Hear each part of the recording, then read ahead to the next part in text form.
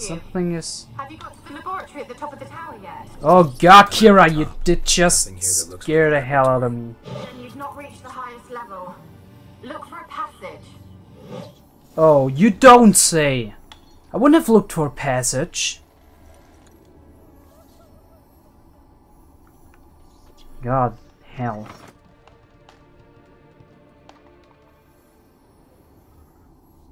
Well, I did use it, that's for sure.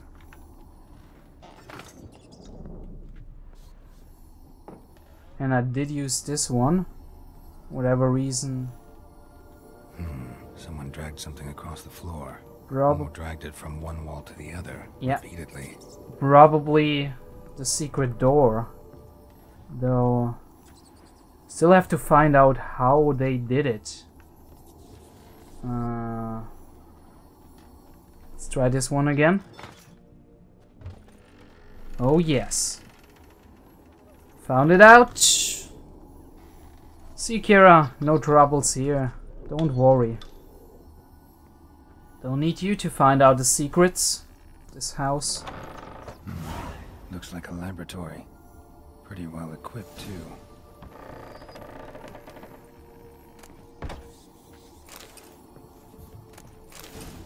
We have a letter here. Uh, seems to be... Is this a quest letter? No. Seems to be some context letter. The Mage Alexander's Log, Part 2. Day 346. I never did uh, like rats, not because of their obscene tales, but rather on account of their li lively, disturbing intelligence. They are always listening when a man believes he is talking only to himself, and what's worse, they seem to understand. A few days ago, I caught myself um, talking to one of them, to a particular large black male with tone of ear. At first, I was overcome by panic. Was this a first manifestation of the illness? Of course, that was impossible, for I had fortified my immunity with powerful spells. Upon further consideration, I concluded it was an al altogether natural reflex. One even the most learned among us find hard to restrain. We may just like to be listened to. I placed the black rat in a separate cage. The time will come for it to play a part in the tests. Meanwhile, it can keep me company. Meanwhile, it can keep me company. And observe. I've noticed it looks with great concentration at the cages of its infected brethren, particularly those in the last stages of illness. Fascinating. Speaking of company, I have none besides the black rat and cannot hope for better. Zara avoids the laboratory and has expressed his desire for his daughter to steer clear of me as well. First I thought he feared a more uh, moral scandal, which would be risible in the extreme, but he explained the true reason in due course. Uh, it seems Annabelle has always possessed a fragile psychic constitution. Observing the ill might throw her into foul humors. The peasants taking part in the study have stopped speaking to me. I don't know what they believe this little act of defiance will serve. Does me no harm. They made for lousy conversation partners. There remains, of course, the woman, but as for her, I try to limit my contact. Day 362. My black rat has died. Today I found him curled up in his cage. Suspected he had become infected on accident, but during the autopsy I did not uncover any signs of illness. He was only perfectly well fed. Uh, he was also perfectly well fed. Strange. From a medical point of view, his death remains unexplained, something which I must admit irritates the scholar in me. But as mentioned previously, I'm not particularly fond of rats. Yeah, but it seemed to be a little bit fond of this one.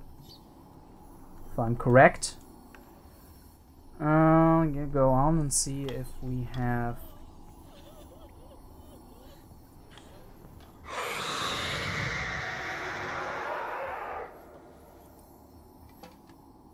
Seems we discovered something. Why did you leave? You claimed to love me. I'm cold. Why has no one come for me? I cannot leave this place. I see no way out.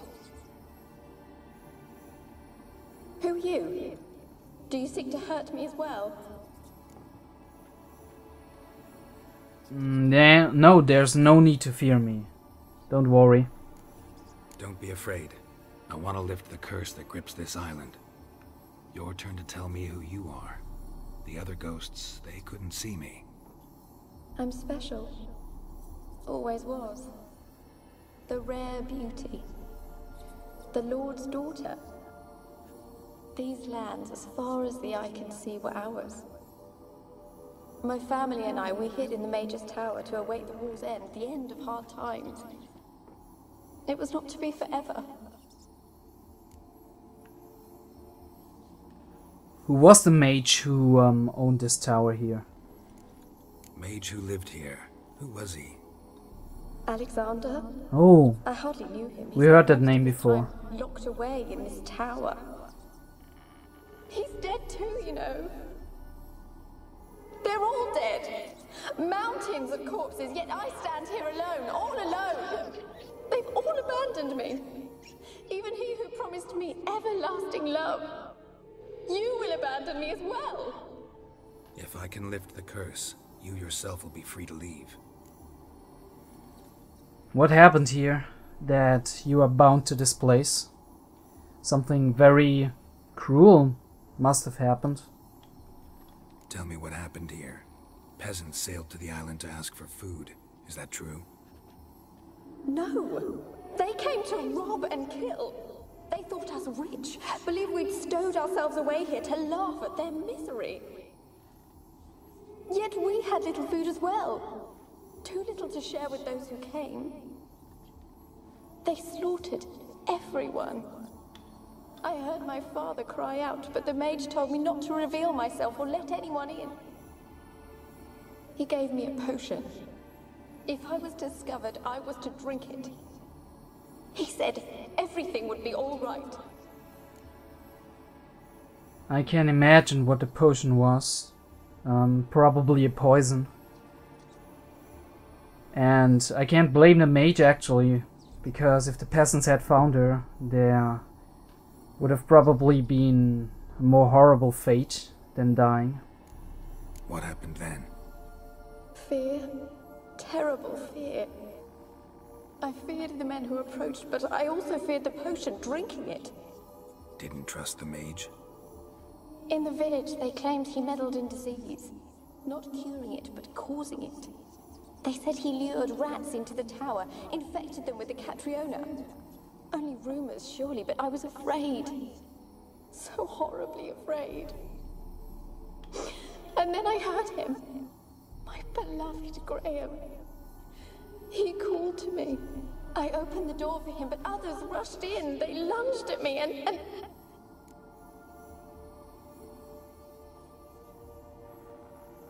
Did they harm you? Did they hurt you? They gripped my arms, tore at my dress. I managed to free myself and drink the potion, and then. nothing. Yes. Poisoned. That how you died? No, for I later awoke. I was alone, it was dark. Only there were rats everywhere. Dozens, hundreds. And I couldn't move. Sleeping potion. Effects hadn't worn off yet. You were paralyzed. They were everywhere. All over me like insects. My face, my hands. I felt them rip open my skin, then crawl into my stomach. Oh god. They tore me apart, and I could not even scream. Have I not suffered enough? Why can't I leave this place?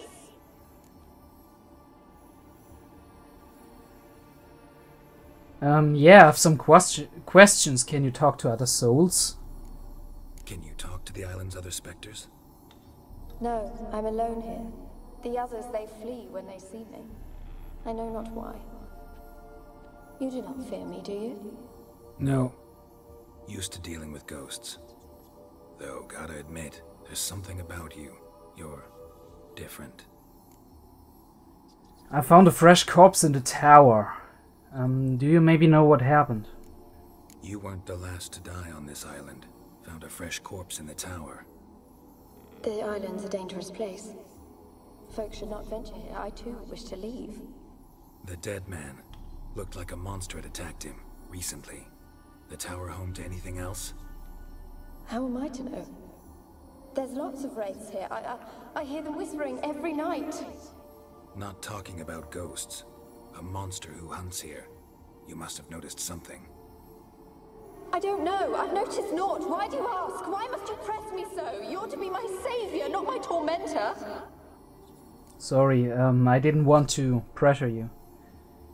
So how can I help you? How can I lift this curse? There must be something that binds you to this world. Um, maybe, maybe an object or a feeling, regrets, anything. How can I help you? A curse born of hatred binds me to this place. Only love's power can hope to lift it. But who could love a race?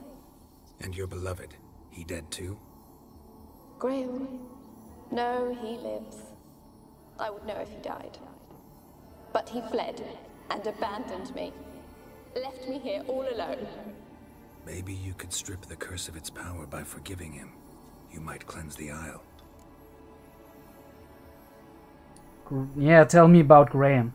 What kind of guy is he? Your beloved, who is he? A noble son? No, a poor fisherman. My father objected strongly. He did not see us together. I miss him so. Each night I walk to the island shore to gaze upon the village. Does he remember me still?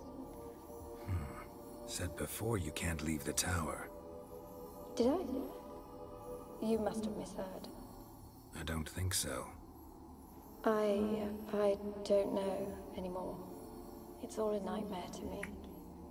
Yeah, that's usual. Wraiths um, sometimes forget important things about them. Especially, it's pretty confusing being a ghost, I assume. So the curse is focused on you. As I see it, you're the curse's focus.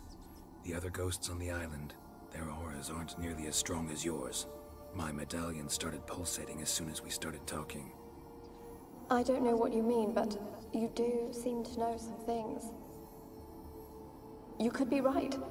My fate is tied to the Isle, I feel that. Perhaps because I am heiress of these lands. It could be your blood ties to the land, the base of the curse, that is. If so, forgiving Graham, laying your resentment to rest should lift it. I loved him. I'm prepared to forgive him. But I must know that he regrets what he did. Take my bones to him. He must bury them. This will be our farewell. Will you speak to him? Will you do this for me? I will. You don't need. You wouldn't even need to ask. I need to lift the curse anyway. Fine, I'll talk to Graham. Where will I find him? He lives in the village on the lakeshore, y- yet.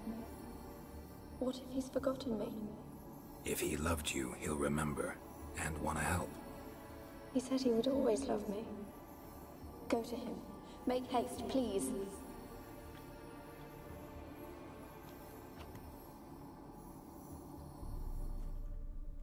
I think she is um, actually speaking the truth. She doesn't seem like a vengeful spirit to me. Experimenting on humans. Never would have gotten away with it if the Conclave were still in charge. That is also true. But unfortunately, the Conclave was destroyed, Geralt. You remember, right? Do you? We get the mage's first letter, which we are also going to read.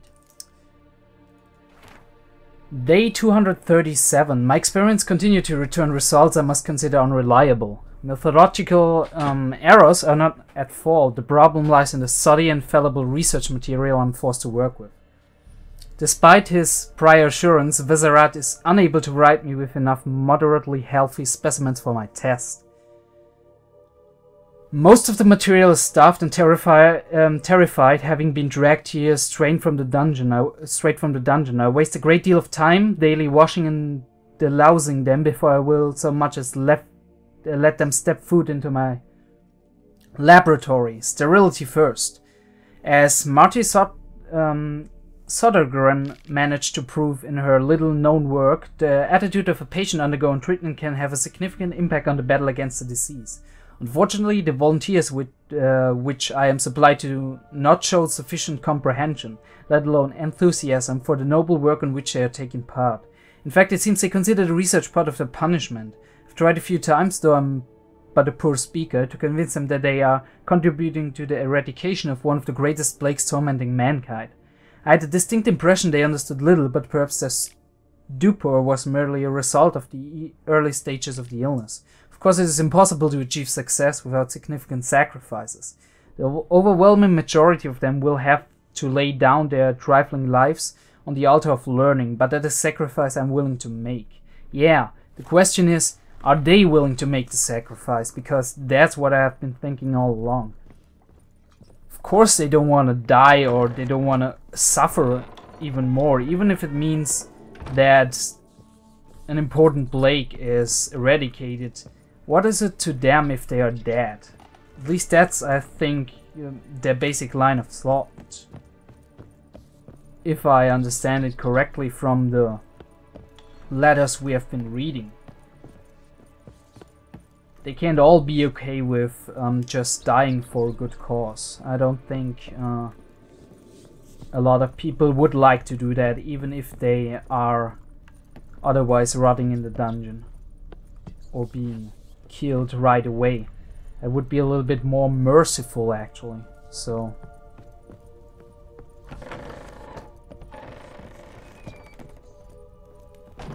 There seems to be some kind of secret room here. I still don't know how to get in there or... Oh! We got a cellar here. And we got another spirit. Let's see what happened here. First of all, let's... Rich folk. Doubt I'll ever understand them. Keeping rats in cages like rabbits. Let them out, maybe? Like to die of hunger if we leave them there. I'd sooner burn the vermin. Releasing them's not like to bring no good. Imagine the harm they'd do if they swam back to the village. Swam? Rats? How do you figure they'd do that? You needn't fret for them. Clever little bastards. Clever than you. Hmm. They seem sluggish to you. Got the mange, maybe? Oh, that stench. Yeah, they might have been keeping the infected rats here. Not really nice. I would be worried, but we're Witcher, so we're immune against uh, most diseases, so at least that's one of the benefits of being a Witcher. You don't have to worry about any disease. Unless, of course, it is magical. That can be an exception.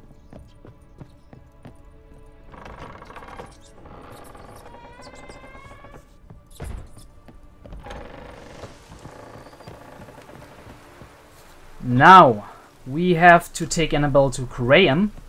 Let's look first, though, if there is something left on this isle. Don't think so. We got one undiscovered location here and our boat is supposed to be here. So we're going here, then we're getting back to the boat. And where's Cray? Oh no, he's on the other side. So we can we can actually go to Arden right away, Oreton. But first of all, we have to look. There's something we missed.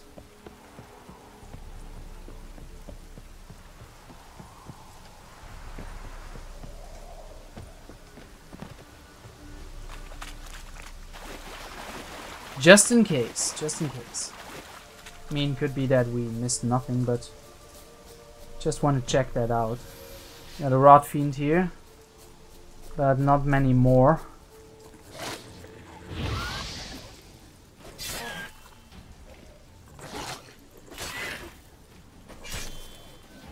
And we got another spirit. Might be interesting for lore reasons.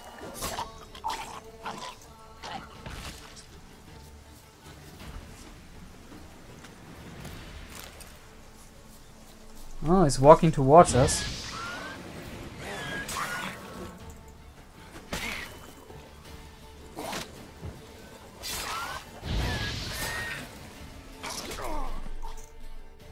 Oh, I didn't even look at our health bar.